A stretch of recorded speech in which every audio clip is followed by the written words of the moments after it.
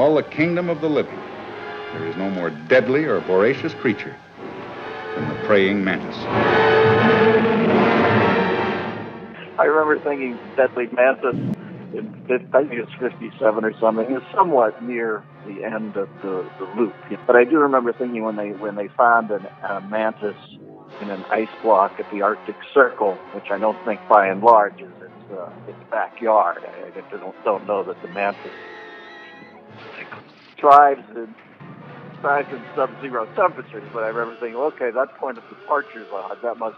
Yeah, that's what these films came to eventually. Uh, you know, you always have a pair of socks that tell you it's time to do wash. Uh, you know, there's that, that well, this marks the point in the cycle where I have to do the other stuff if I'm down to this pair of socks. And then my favorite is the is at the end they they they kill the mantis by trapping him in a Manhattan tunnel uh, with carcinogenic smoke. And I remember thinking, well, the writer must have thought if we have reached the death by commute trope, we are definitely out of stuff.